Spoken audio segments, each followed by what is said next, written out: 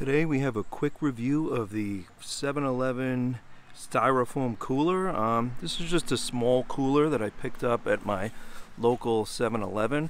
Um, it has a nice little handle on the top here as well as um, these little clamps on the top here that help to keep the um, cooler closed. Um, it's a small cooler, you know, for like a six pack or so, or maybe a lunch, or um, you know, maybe to put your your fish bait in.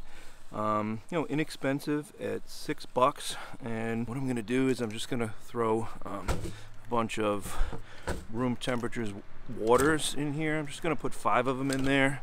Just gonna give it a quick test here. Put a little bit of ice in there and then close up the lid. Okay, just gonna add a little bit more ice here.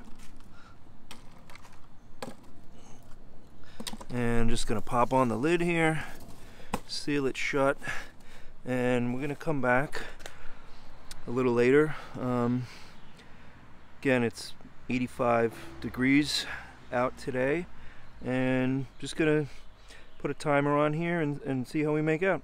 All right.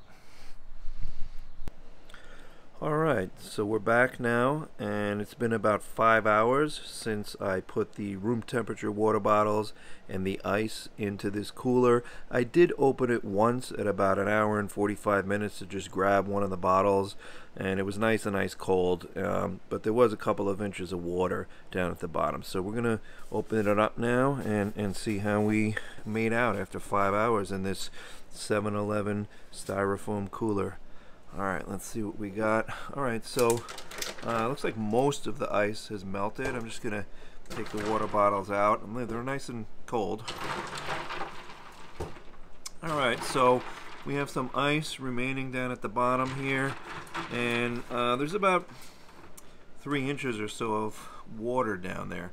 So all in all, I would say that it worked pretty well for a cheap, inexpensive, small styrofoam cooler. I think it would be great for a quick trip to the beach or if you're kind of in a pinch and you need a cooler um, really quickly and easily.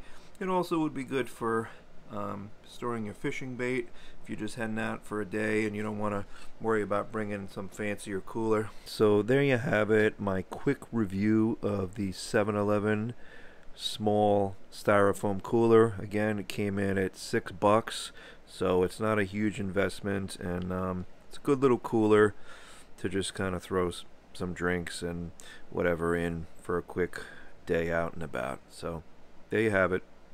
Have a great day.